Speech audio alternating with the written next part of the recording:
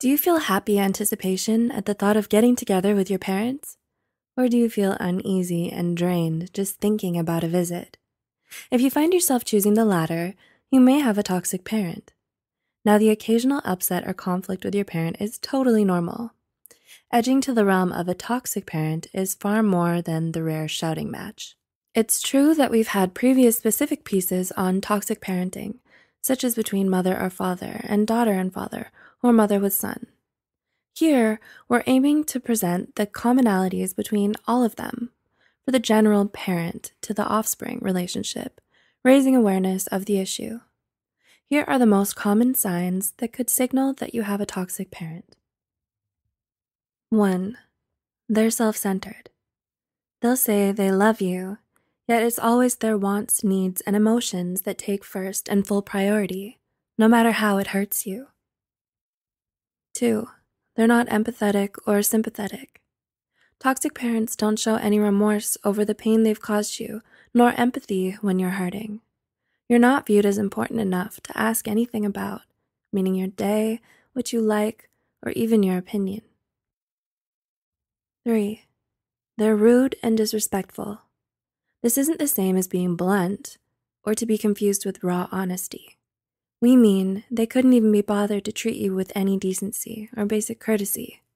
They don't thank you for anything, even if you put in massive effort. Any suggestion you make may be responded to with mockery. You feel a little less human around them. 4. They overstep your boundaries. We've spoken about boundaries and how they're important. These types of parents will intrude on all of your personal space, despite you asking them not to. They treat access to your privacy as their right, freely rifling through your things like your drawers or maybe even your phone. 5. They're overly demanding. Overly demanding is a constant overload from your parents of nothing being quite enough and palpable dissatisfaction at the perceived lack.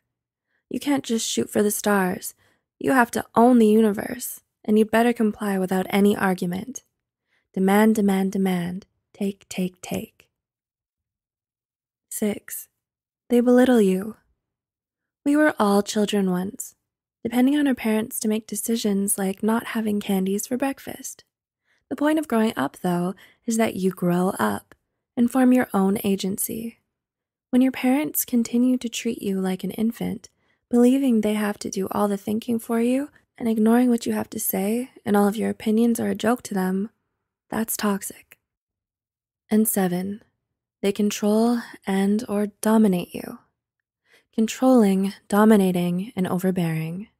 This is the worst possible recipe that results in the being known as the smother. This toxic parent micromanages your life and ensures that you do exactly as they tell you.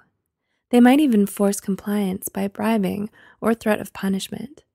This dominating behavior is to foster feelings of smallness or being lesser so that you feel like you have no choice but to listen to them. How are you feeling? Are you already seeing signs like this from people who are parents? Well, hold on to your hats because there's more where this came from. So while you're liking and sharing this one, we'll travel together to part two.